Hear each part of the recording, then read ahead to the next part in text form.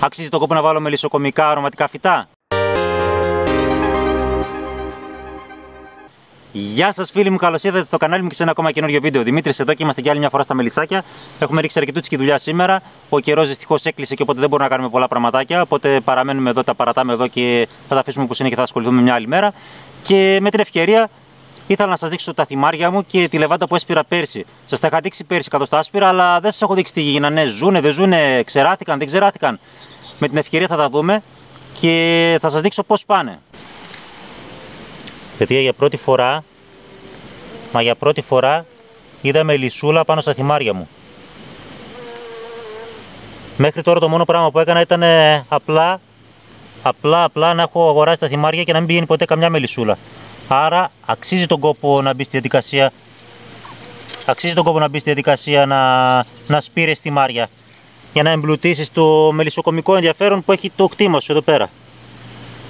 Ωραίο, τέλειο, τέλειο. Εκτός όμως από το θυμάρι μας που είναι ένα από τα τρία, ήταν μια σταλίτσα το το βάλα και δέστε τώρα πόσο μεγάλο έχει γίνει.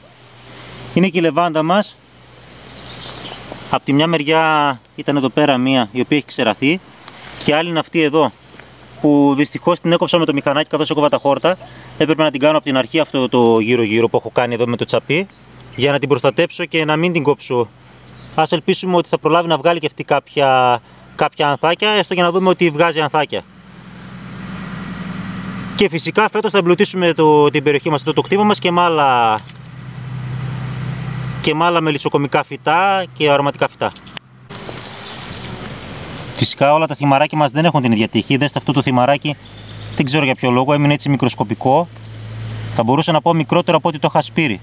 Θα το ρίξω λίγο νεράκι και αυτό με τη σειρά του θα ξαναγίνει, πίστευω ότι θα ξαναγίνει.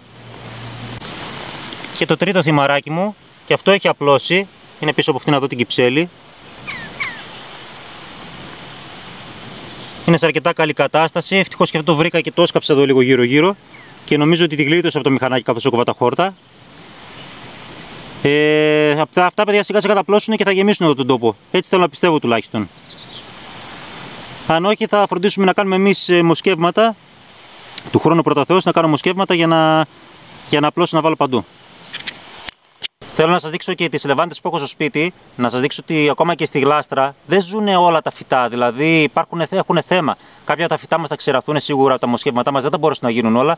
Η ρίγανή μου φέτος δεν πάει πάρα πολύ καλά για να μπορέσω να απλώσω και να βάλω μέσα στο κτήμα για να έχω και οι ρίγανες. Οπότε να έχω θυμαρορίγανη και να παίρνουν ωραίο και νόστιμο και μυρωδάτο ε, μέλι τα μελισσάκια μου. Ελπίζω ότι τουλάχιστον αν όχι φέτος του χρόνου θα μπορέσουμε να κάνουμε καλύτερα μοσχεύματα. Έχω βάλει και κανένα δυο κλαδάκια δεντρολίβανο αυτή τη φορά για δοκιμή, τα οποία έχουν βγάλει ήδη ρίζα και κάποια στιγμή θα πρέπει να πάω να τα βάλω στο κτήμα.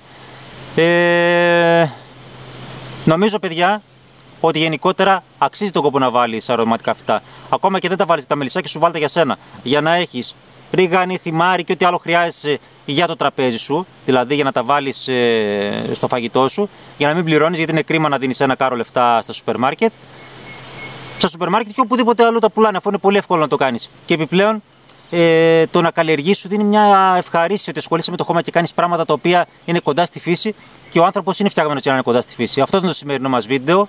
Like, subscribe, κουδουνάκι και όλα τα σχετικά και τα ξαναπούμε σε καινούργιο βίντεο, παιδιά. Γεια σας!